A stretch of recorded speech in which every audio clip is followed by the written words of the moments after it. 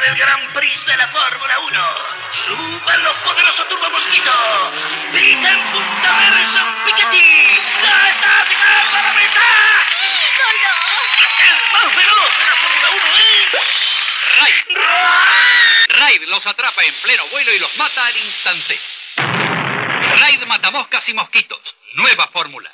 Los mata bien muertos y al instante.